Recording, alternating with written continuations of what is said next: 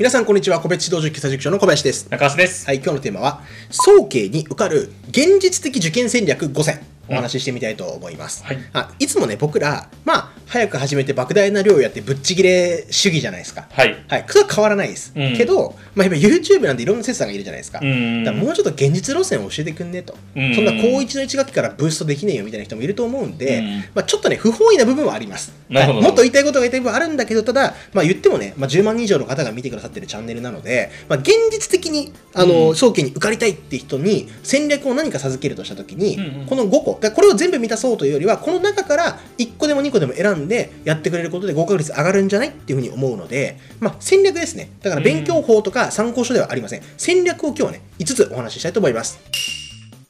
じゃあそれではまず一つ目からお願いしてもよろしいですか？はいまず1つ目は3科目に特化するもしくは推薦を狙うですうーん。とにかく早期行きたいのであればね一番行きやすいのはぶっちゃけ、まあ、中学受験か高校受験に入っちゃうのがいいんですけど、まあ、それを言うと反論を受けそうなんで、まあ、高校生が狙うということを前提にすると、まあ、やっぱり一般受験かもう推薦しかないんですけど、うん。一般受験をするときにやっぱり、ね、3科目に絞っちゃうっていうのは1個あると思います。特に今自分が通ってる学校が進学校ではなくて早期の合格実績も毎年たくさんいないと。正直、まあ、片手で数えられるぐらいしかいないよって感じの場合は正直多分学校当てにならないんで3科目に特化した方がいいです。しかも3科目に特化すれば例えば英語と国語だけとか英語だけでも多分いきなりもう塾行きましょう。申し訳ないですけど、うん。そうやれば高1の頃からいきなりはねその全てを勉強させることはできなくても先取りが進んでいくので正直早慶受験に関しては有利です。いやでもそんなことできないよと3科目に特化できないからどうしたらいいっていう人は正直推薦を狙いましょう。ただこれは残念ながら指定校推薦がある学校に限られた方々だけです、うんはい、なので正直例えば高校偏差値が50とか7の50切ってるような高校だと正直早期の枠ってほぼないので7の55でもほぼないかな。なので、まあ、これは正直その恵まれた環境にいる人だけの戦略になってしまいますが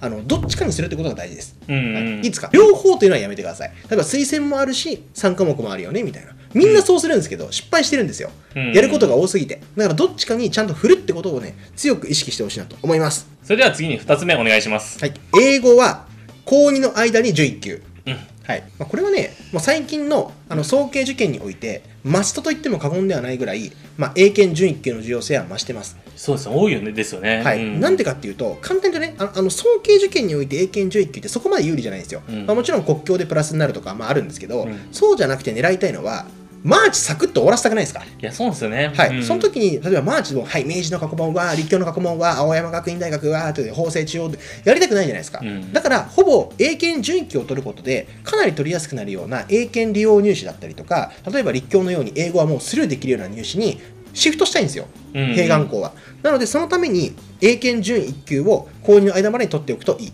かつ、早慶の方って正直3科目しかないんで、まあ、理系の方は置いといてね、3科目しかないんで、正直英語めちゃめちゃ重要なんですよ。で、その重要な英語を高2段階に準1っていう目標を立てておけば、1個それが目安になるじゃないですか。うんなので、そこを目指してぜひやってほしいということなんですよね。もちろん大変なのはすごい分かってるんですけど、とにかく英語に特化すれば、英検準1級ぐらい取れると思います。頑張ればね。ただ、あの、じゃあ、高2の終わりぐらいに英検準1級取りました。国語社会、例えばあんまり手つかずですって人でも、国語と社会まあ、だけとは言わないけど8割ぐらいも国語と社会に振って1年間やれば、まあ、どうにか間に合ったりするわけですよ、うん。うん。なので正直、まあ、文系特にね、えー英語大事な文系の方であれば高2までに英検準拠を取るっていうのが実はめちゃくちゃ重要な戦略ではありますね。はい、そうしましたら次にえー三つ目お願いします。はい、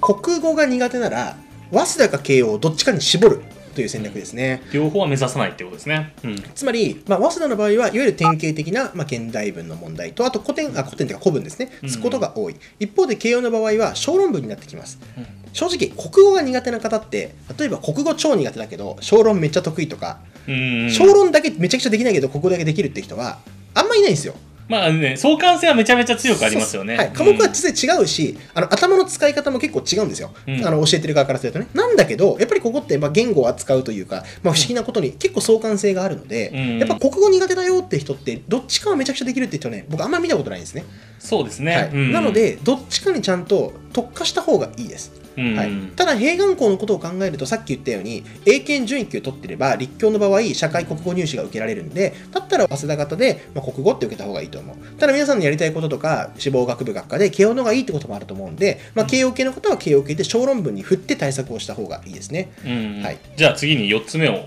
お願いします。はい、4つ目は、さっきと話と相反するんですけど、東大か京大を狙うですね。うん、ちょっと1個目とははい、結構離れますけど。一個目と違うけど、まあ、簡単に言うとあのぶち抜くってことですね。うん、うんうんはい、やっぱりね東大とか京大でいい戦いできる受験生って、まあ、全部受かるかって言われると結構最近やっぱ一般も枠が狭いんで厳しいんだけど、うんやっぱり何か取ってくれることが多いんですよまあな。かなかね、早期しっかり受けたときに全落ちするっていうことは少ないですよね。まあ、もちろん整形だけ受けました、O だけ受けましたとかうん落ちることありますけど。うん。なのでそもそもだからさっきの言ったように推薦でもないし3科目に絞るでもない俺は絶対にもっと高いところを目指すんだっていう人は東大京大志望になってください。うん。ただしこれデメリットもあります。はい。はい、東大京大志望になって東大京大狙うじゃないですか、うんあの東大か京大に行きたくなります、はい、なのであの早稲田慶応は残念ながらあの併願校になってしまうので、うんちょっと元も子もない戦略というのが1個言えますねそうですね。これはちょっとそう現実的というよりは、はいもう少し、えー、高1とかからちゃんと頑張るルートに入っちゃうかもしれないですけど、はいもしかしたら、ね。あいやでもそれが1個現実的な方法です。はいまあ、そうですね。なんとなく。く早期行きたいなってぼーっとしながら高3を迎えるぐらいならいや俺は東大志望だっていうふうにしちゃってもう高1から塾付けになって勉強付けになって、あでも結果的に受験終わったら、まあもしかしたらねもしかしたら東大は残念だったかもしれないけど、まあ、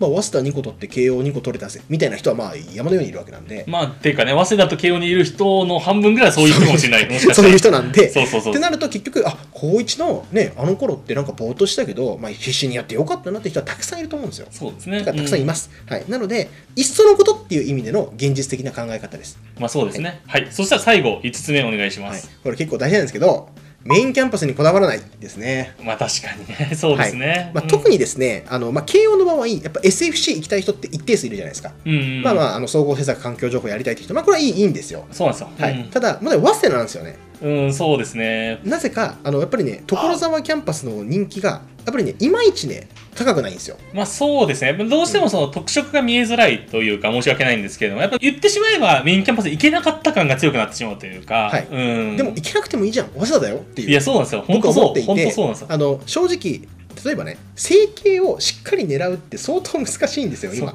特になんなら3科目入試じゃないんで、うん。であの早稲田の今後のあの入試についての動画も以前うんメインチャンネルで出したので見てほしいんですけどかなりいろんな学部で共通テスト利用型になってきますよね、うん。つまり簡単に言うとさっき言った戦略の4番。うん。これのこの力がどんどん強くなるんですよ。そう。もう取らざるを得ない可能性があるんですよ、そう。普通ので逆に言うと1個目の3科目に絞るっていう戦略がどんどん取りにくくなってくるんですよ、うん。ってことはじゃあねその中でどういうふうに考えるかっていうともちろん圧倒的力をつけていくっていうのが僕らは言いたいことです正直ね、キャスダイスの考え方としては。ただそんなね受験生の方ばっかりじゃないんで、うん。なんとかっていう人はですね正直最初から人科とかスポ科狙っちゃうの結構ありです。ありっす。はい、あのしかもしっかり対策すればぶっちゃけ結構取りやすいしマーチと例えば人科のレベルがあったとしたら、うん。正直人科と本キャンパスのレベルの方が違うぐらい難しいんですよ本キャンパスの問題って、うん。でしかもあろうことか今後共通テストも怒涛のごとく増えていく。ってなってくるとやっぱりなかなか難しい、まあ人科スポ科もねえー例えば場合によっては共通テストを利用する形式もありますけども